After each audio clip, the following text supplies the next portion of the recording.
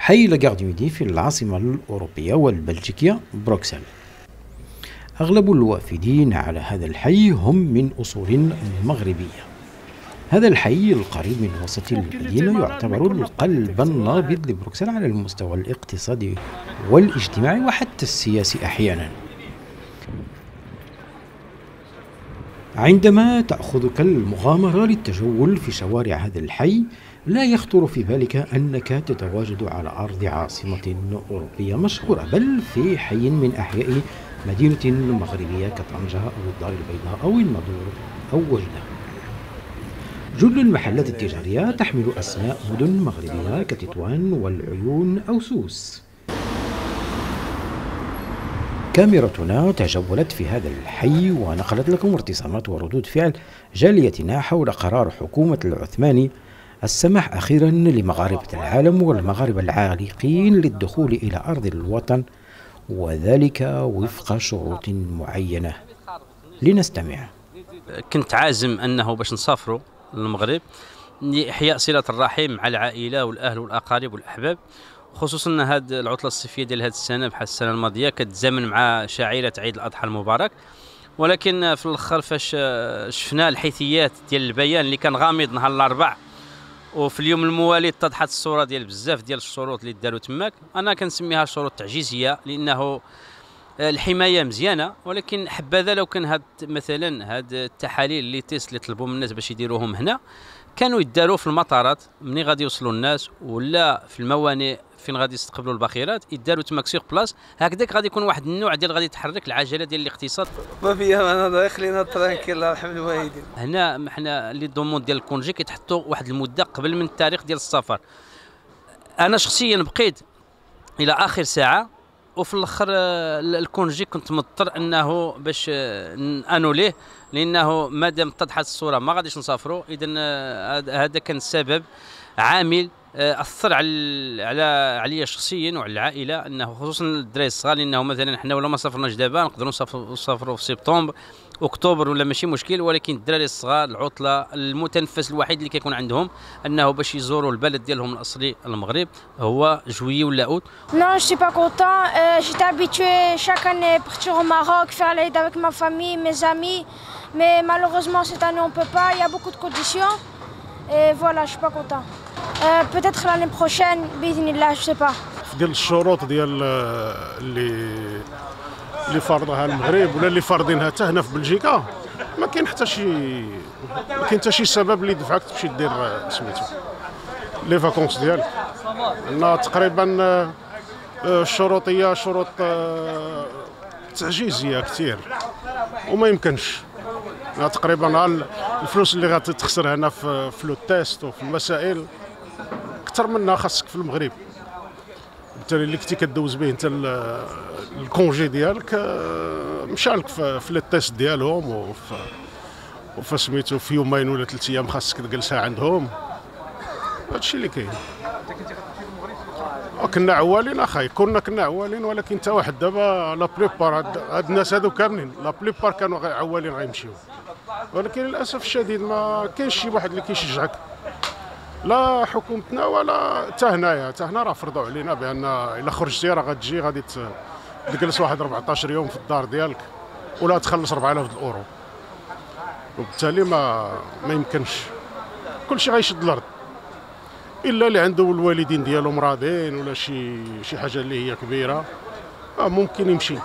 غامر يمشي وصافي لأن ولات لي فاكونس مغامرة الآن ماشي آه، مغامرة. اش بالنسبة لي محر؟ هاكا نخدم. هاكا نخدم ذاني تاع عام إن شاء الله. ايوا ذاني وايت راح نشد ناس الشن البركة إني غنغداني إن شاء الله. أرخو عام معليش. أنا عم ديكو المغرب قديني يقيم ذاينق الصراحه يقيم ذاينق تبغى غاري غانا ضحك ني غاس ضحك أم 1000% تبغى أمن قاص انا حنا حنسمح وران بالله عن الدنيا سوار. شو أنا أقوى عامه سبحان الله يدار بي منايا. ليش نرخى كلشي درخا. لا لا لا لا لا أوني عزيزي وني وني وني لافريك وني وني لافريك. خمرة وكين شاي مني قضغيا قضغيا راح ادغيا أدور تحراث فهمت سي ديفيسيل ما جو سوي بور لي ريستريكسيون اللي كاين المغرب. شي تخي بوغ ما عليك عاود درقا عاود كل الشذيره عاود ذني. تقانش نهار يا أوس يا أوس دو كونتاميناسيون. فهمت يعني والسيما والسيماني جرخه والسيماني جرخه شحال تسعة مريحين الله ناقح شحال 10 مريحين الله ناقح نشين. آه افون كورونا وي قبل قبل لو موا جانفي وي كنت مفكره أن في الصيف هذا غنمشي ندوزو في المغرب. مي ابخي كورونا لا. صافي غيرت رأيي. ما يصلحش نمشي. انت عارفه بلي المغرب دابا حل الحدود بالنسبة للمغاربه اللي عارفين هنايا والمغاربه اللي oui يمكن لكم تجوا المغرب ولكن هناك شروط. oui كاين شروط و plus حتى les billets d'avion c'est très cher c'est très très très cher veut dire même si واخا يحلوا واخا داك الشروط يمكن لك انت توفيها ما يمكن لكش ت... ما يمكن لكش تمشي. آه ما كاين بعطله هذا العام هذا إن شاء الله ما كاينش. لأن علاش؟ لأن ما كاين المفاهمة ما بين المغرب وبلجيكا وإسبانيا وبلجيكا والمغرب وبلجيكا ما كاين والو. ما محلولينش. ما كاينش المواصلات آه، باش الناس تمشي. دابا المغرب بحال كاين الطيار كيقولوا كاين طيار ولكن آه، غادي تمشي تشوف على ف ف ف في لي زاجونس وكذا ما كاين ما باقي ما كاين والو عاد غير الهضرة وكان ما كاينش المعقوله كاين شي شي حاجة معقولة. لكن من الناس حتى بعض الناس ما حتى ما مقررينش يمشيو لأنهم ما مأكدينش بأن غيكونوا يكونوا اسيرين في البلاد باش يرجعوا أنا عليا أنا ما غادي نتحرك شي هذا العام ما غنمشي حتى شي مطاع parce que هادشي هذا ماشي normal.